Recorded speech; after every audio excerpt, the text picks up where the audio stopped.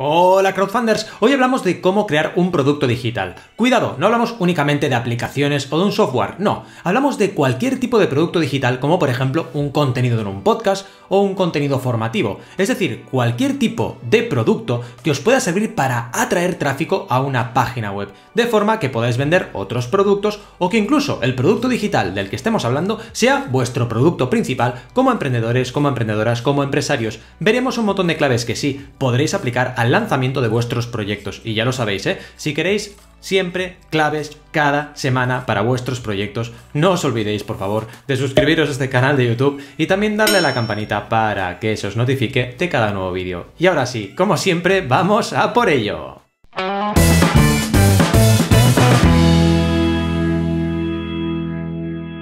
Bienvenidos y bienvenidas al canal de Banaco en YouTube. Sí, la cosa va de productos digitales. Como os decía en la introducción, cuidado, cuidado, no penséis que este vídeo va de aplicaciones o de software o de videojuegos. No, estamos hablando de cualquier tipo de producto digital. Es decir, un producto que se crea en la red de redes y que está completamente digitalizado y nos sirve para, por ejemplo, interactuar en la red.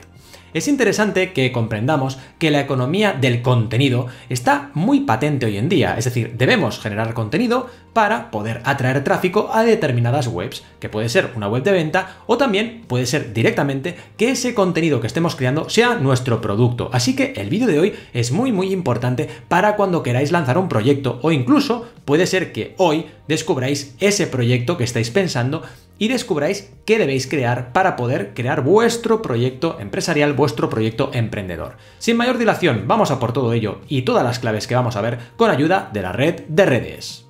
Bien, crowdfunders, como os tengo súper acostumbrados y acostumbradas, vamos a ver la presentación de hoy, empezando por el tema introductorio. Hablamos, por ejemplo, como os decía, de un producto para dirigir tráfico. Si tenemos un podcast, o tenemos un video podcast, o tenemos un canal de YouTube, o tenemos un blog, nuestra intención debería ser dirigir tráfico hacia algún lado, es decir, debemos pensar en todo lo que creamos en Internet con un objetivo. Cuidado, evidentemente puede ser algo que sea un hobby, pero aún así, si es un hobby, deberéis conectar con alguna audiencia o querréis compartir vuestro proyecto con el mundo. Así que siempre vais a estar dirigiendo tráfico hacia algún lado. Y es algo muy interesante y muy importante tener en cuenta este aspecto, porque si no, estaréis creando contenido sin ningún tipo de estrategia y eso nunca es bueno. Puede ser que el contenido también sea para monetizar, es decir, o bien podemos dirigir tráfico a una web para vender otra cosa, o bien podemos, como decíamos en la introducción, monetizar el contenido que estemos creando. Y aquí también se abre un mundo de posibilidades. Y para acabar, puede ser que sea algo por pasión, únicamente por pasión, pero aún así, os recomendaré que os veáis este vídeo porque veremos un montón de claves que os ayudará, incluso siendo un contenido que creáis por pasión, a darle el máximo, mm, digamos, potencial posible porque aunque sea algo que os apasione, igual podéis crear un modo de vida de ello, así que no estaría nada mal. Vamos a por la primera clave de hoy, que sería quién va a ser el espectador de ese contenido. Tenemos que pensar en el concepto de buyer persona, del cual ya hablamos en este canal de YouTube. También debemos pensar en el concepto de comunidad. ¿Existe una comunidad de personas que pueden ser público objetivo de nuestro contenido o de nuestro producto digital? Y luego hablaríamos de los intereses es muy importante que comprendáis que en Internet ahora nos movemos por intereses. Podemos detectar tráfico, podemos detectar personas a través de los intereses que comparten en las redes sociales. Y esto nos da una potencia enorme para poder ajustar nuestro contenido a nuestro público. Vamos por partes, el primer punto sería el buyer persona. Al final lo que hacemos cuando definimos el buyer persona es definir nuestro cliente ideal. Sería, lo que veis aquí, un estereotipo. Está claro que un estereotipo puede ser que no esté ajustado a la realidad, pero debemos definirlo de algún modo. Lo que sirve mucho es ponerle nombre, apellidos, ver un poquito cuál es su día a día, imaginarnos esa persona que hace y realmente qué busca, cuál es el problema que quiere solucionar y cuál es la solución que podemos aportar. Esto sería muy genérico y luego debéis bajar un poco a tierra todo. Y cuidado, esto no habla solamente en términos de marketing comercial. Cuando hablamos, por ejemplo, de entretenimiento, también tenemos un problema y una solución. Queremos entretenernos cuando estamos por ejemplo, cocinando. Pues a lo mejor un podcast de ficción, de fantasía nos interesará, o a lo mejor no, a lo mejor querremos un podcast pues muy duro de emprendeduría digital. Pero el problema será intentar entretener a esa persona en un momento determinado de su jornada. Así que aquí también, en momentos de ocio, también hablamos de problema-solución. Seguimos porque tenemos más. Como os decía, la comunidad es importante. ¿Están organizadas las personas que queremos, digamos, contactar? Eh, ¿Hay, por ejemplo, un ismo en estas personas? Por ejemplo, ¿hay un veganismo? ¿Hay un feminismo? ¿Hay algo que los aglutine y que les dé una dirección de, digamos, una motivación determinada? ¿Y qué buscan estas personas? Fijaos, si nos vamos, por ejemplo, al caso de boluda.com, estos cursos online que sabéis que hace el consultor de marketing online, Joan Boluda, que es amigo mío y colaborador en muchos proyectos, tenemos aquí un montón de cursos. ¿Qué busca su público objetivo? Formarse en marketing online. ¿Cómo empezó él? Con el podcast de marketing online que podéis encontrar, si busquéis directamente podcast marketing online, el primero que sale. Y además de eso, puede ser que esas personas, además de escuchar este podcast, podcast de marketing que fue su primer contenido, quieran ir un paso más allá, quieran, por ejemplo, aprender. Y aquí es donde surgió boluda.com. Entonces, fijaos que el primer contenido, en este caso, sería el podcast de marketing online. Ahí captamos un montón de tráfico de gente interesada en el marketing online. Y el segundo contenido sería el propio contenido formativo, que también es un producto digital. Y aquí está monetizándolo con una cuota de suscripción mensual de 10 euros al mes. Así que tenemos dos productos, uno que dirige tráfico y el otro que directamente es un producto que monetiza. También, como os decía, podemos encontrarnos con, eh, digamos, ismos. Por ejemplo, el veganismo. En YouTube encontráis un montón de vídeos sobre veganismo. Si, por ejemplo, hacéis un proyecto que tiene un ismo o que está en relación a un ismo, el medioambientalismo, por ejemplo, pues podréis trabajar con una comunidad que ya existe, que ya está activa, que ya está consumiendo contenido y esto nos da mucha información. Podemos analizar los contenidos que tienen más éxito, podemos ver en qué comunidades se mueven en las redes sociales, podemos también descubrir cuál es la red social que más usan y un montón de información en definitiva que nos servirá para enfocar nuestros proyectos. Fijaos en el caso de Eura, un proyecto evidentemente vegano, porque estamos hablando de, digamos, carne de origen vegetal, eh, y lo que vemos aquí es que Eura eh, está trabajando muy bien su ismo, está trabajando muy bien el veganismo y está compartiendo contenido que interesa sobre todo a las personas veganas o las personas que están sensibilizadas con la causa animal. Entonces debemos tener claro qué tipo de contenido vamos a crear y para qué, como vemos en el caso de Eura. ¿Serviría un contenido para Eura completamente neutro? ¿Completamente, digamos, eh, sin ningún tipo de enfoque en un ismo? Pues no, Directamente no, porque aquí el producto y el contenido deben ir siempre de la mano. Bien, antes de seguir, si os gusta el contenido de lo que estamos creando, por favor, ¿eh? fuertísimo like para que me entere que os interesa este tipo de contenido y pueda crear más contenido relacionado con este tipo de temáticas. Y ahora sí seguimos, tenemos también el punto de los intereses. ¿Qué apasiona a estas personas? ¿Con qué se entretienen? ¿Con qué se forman? Todo esto, fijaos que los ejemplos que hemos ido viendo está muy patente. Se forman con temas de marketing online porque quieren ser emprendedores. Se entretienen con un podcast sobre ficción. O les apasiona el tema de los animales y tienen una causa animalista. Entonces, reflexionemos sobre este aspecto porque nos va a dar un montón de foco en nuestro contenido y nos permitirá crear contenido que esté alineado con los intereses de este buyer persona de esta comunidad, si la tenemos, de personas que pueden ser afines a nuestro contenido, a nuestro producto digital. Segunda clave, ¿qué? ¿Qué creamos? Ahora que ya sabemos bien bien cuál es el estudio de mercado, ¿qué vamos a crear? Tenemos la opción de crear texto, tenemos la opción de crear audio, tenemos la opción de crear audiovisual. ¿Qué ventajas e inconvenientes tiene cada una de ellas? El texto puede ser, por ejemplo, un microblogging dentro de lo que es una red social, hacer un pequeño texto acompañando algún tipo de imagen, algún tipo de vídeo hacer un blogging clásico en un blog. Aquí tenéis, por ejemplo, el caso de banaco.com, mi blog sobre crowdfunding, donde hablo de crowdfunding, pero también comparto contenido premium, como las clases online y otro tipo de contenido. Y también, por supuesto, tenemos la opción de crear híbridos. Sí, hay veces que tenemos un híbrido que consta de texto, pero también de algún tipo de videoblogging. Fijaos, si entráis en cualquiera de mis artículos dentro del blog, podréis ver que hay texto y también hay vídeo. Y esto es interesante que lo vayáis trabajando, porque de esta forma podéis captar mucho más la atención de diferentes públicos, porque están consumiendo estos públicos diferentes formatos. Están en texto o están en vídeo en YouTube. Y es más, además esto se complementa, porque tenemos texto, pero la gente que por lo que sea no quiera leerse todo el texto, puede ir al vídeo y aprender directamente con esos minutos de vídeo. Bien, seguiríamos con el tema del audio.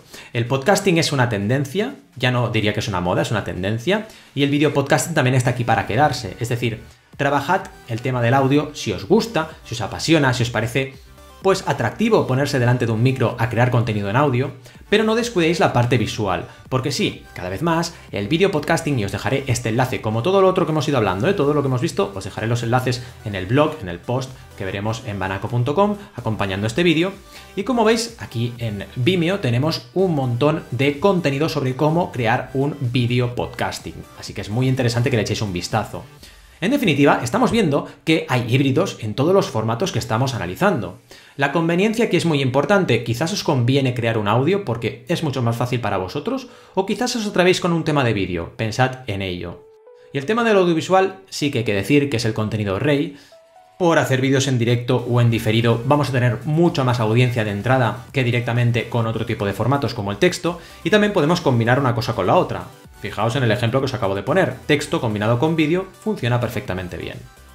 Vamos a por la tercera clave, difusión y acción. Dos términos importantes. Estamos haciendo producto digital para algo, entonces debemos llamar a la acción. Una red social es lo que yo os recomiendo. Escoged de momento una red social la que más cómodamente trabajéis. Cuidado, aquí un punto importante, un paréntesis importante. Estad atentos, estad atentas a las nuevas redes sociales que salen, porque puede ser que una nueva red social, como hace poco, relativamente, salió TikTok, nos puede interesar enfocarnos ahí para aprovechar el crecimiento inicial de esta red social y tener más audiencia. Dicho esto, decidid la red social que más os plazca. Yo, por ejemplo, trabajo mucho en YouTube, me encanta YouTube. Pues bueno, ahí estoy y también estoy en otras redes sociales porque es mi trabajo. Pero vosotros, vosotras, de momento, recomendación, empezad por una red social y enfocaos allí. Plataformas. Sí, pensad que por ejemplo el podcasting tiene plataformas de podcasting, Spotify, iTunes, Evox, y esto es interesante que lo vayáis teniendo en cuenta. Hay plataformas que pueden ayudar a difundir, a mejorar la difusión de un producto digital. Así que tenedlo en cuenta, tenedlo en consideración y si vais por ejemplo por el podcasting, intentad analizar qué plataformas tenéis a vuestra disposición. Y para acabar, no olvidéis la llamada a la acción. En todos mis contenidos siempre hay una llamada a la acción. No diría, no deberíamos criticar estas llamadas a la acción o pensar que son spam. Es decir, es importante que entendamos que en Internet tenemos que, bueno, empezar a vivir, a compartir y, ¿por qué no?, a vender y comprar. Entonces, como creadores de contenido, como emprendedores, emprendedoras, como empresarios, empresarias, no debéis dudar de compartir valor y también aprovechad para compartir vuestro contenido premium. Es la forma más, digamos, perfecta aportar valor y luego poder decir, hey, y además, si quieres más, aquí tienes mi contenido premium. Eso no tiene que daros ningún tipo de vergüenza y tiene realmente que ser una prioridad en vuestra estrategia de marketing digital. Seguimos porque tenemos ya la cuarta clave y vamos acabando. Consejos. Trabajad con lo que os apasione, por favor, por favor, alma de mi vida. Trabajad con lo que os apasione. No vayáis contracorriente en el sentido de contra vosotros mismos. Es decir, no creéis algo que no os apetece porque si, ay, es que ahora se habla mucho de blockchain, pues voy a hablar de blockchain. Hombre, si no te interesa el blockchain, no hables de blockchain. Eh, voy a hablar de NFT porque están de moda. Hablad de lo que realmente os apetezca, porque eso os va a hacer crear contenido de calidad, porque amaréis lo que creáis. Y esto es muy importante. También la planificación es básica, no solo con amor se va a todas partes del mundo, hace falta planificación y constancia. Así que ya estáis creando un pequeño plan de contenido o directamente una lista, que yo funciono mucho por listas, planificando lo que vais a crear y sed por favor constantes cuando empecéis en un proyecto, sea un podcast, sea un videoblogging, sea un canal de YouTube, por favor, constancia. Quinta clave, ¿qué errores no debéis cometer? No ser regulares. Ahora empiezo, la semana que viene no, la semana siguiente sí, no. Si ya empezáis con una planificación, voy a publicar lunes, miércoles y viernes, no dejéis de hacerlo, por favor. No cambiéis de tema constantemente. Ahora hablo de crowdfunding, mañana hablo de mm, eh, inversiones online, pasado hablo de mi hobby preferido que es tejer. Oye, cuidado, o sea, intenta enfocarte, no pierdas el foco y no cambies de tema constantemente. Dicho esto, podéis ampliar un montón las temáticas de un contenido determinado. Yo, sobre todo, hablo de crowdfunding, pero hablo de un montón de cosas, siempre relacionándola con el lanzamiento de proyectos vía crowdfunding, que es mi especialidad. Sexta clave, o podríamos decir ya conclusiones. ¿Qué es importante del vídeo de hoy? Debemos crear contenido y esto es una prioridad para todas las personas que estamos en Internet. Podemos monetizarlos, Pero cuidado, también podemos crearlos por hobby, porque nos apetece. ¿Por qué no? Lo importante es siempre tener una estrategia y pensad siempre en el largo plazo. No os desaniméis, por favor. Si empezáis a crear un contenido, no penséis que en dos telediarios vais a estar ahí rodeados de millones de fans. No, esto es lento, tenéis que ir creciendo poquito a poquito. Preocupaos mucho de la calidad de vuestra comunidad, que por cierto, vosotros, vosotras, sois mi gran comunidad, os quiero un montón y tenéis una calidad enorme. De verdad, cada día disfruto un contestando vuestros comentarios, porque son de mucha calidad y eso me llena de orgullo que estemos todos juntos compartiendo esta aventura.